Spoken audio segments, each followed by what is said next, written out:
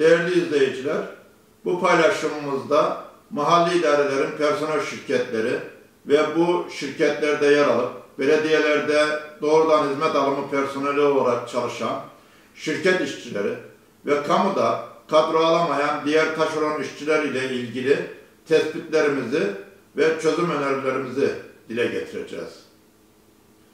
696 sayılı kanun hükmünde kararnamenin öncesinde ve sonrasında sürekli olarak ifade ettiğimiz üzere mahalli idarelerdeki taşeron işçilere ne yazık ki kadro verilmemiş, sadece istihdamlarının mahalli idare şirketleri bünyesinde devam ettirilmesi sağlanmıştır.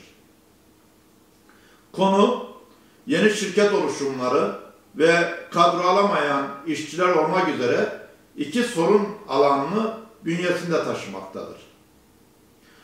Bu uygulama nedeniyle mahalli idarelerde gereksiz bir şirketleşme söz konusu olmuştur. Diğer taraftan şirket işçiliği uygulaması, şirket işçisi alımlarının kamudaki personel alım disiplininin dışında gelişmesi, açıklıktan, şeffaflıktan ve fırsat eşitliğinden uzak istihdama imkan sağlaması, şirketlerin mahalli idarelere ek mali külfet getirmesi, şirketlerin vergi ve sigorta primini ödeyememesi gibi birçok olumsuz sonucu doğurmuştur. Bu uygulama ile belediyelerdeki asli birçok görev şirket işçileri eliyle gördürülür. Aynı işi farklı statülerdeki çalışanlar yürütür hale gelmiştir.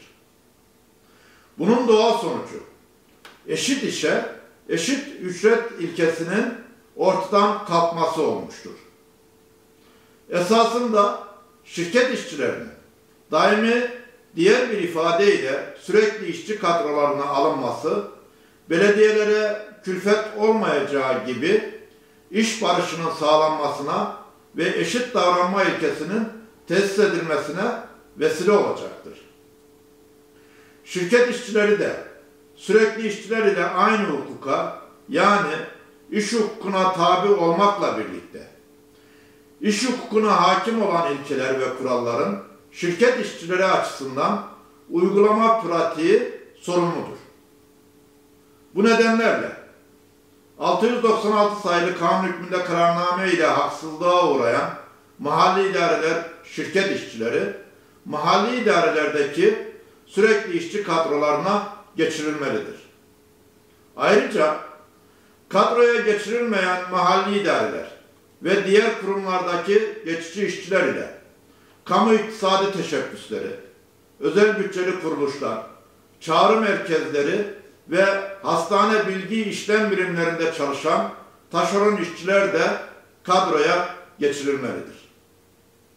Miyargem olarak beklentimiz ve talebimiz şirket işçiliği, taşeronluk, geçici işçilik ve benzeri uygulamalara son verilerek işçi istihdamındaki bu dağınıklığın ve güvencesiz durumun ortadan kaldırılması için gerekli yasal düzenlemelerin geciktirilmeden yapılmasıdır.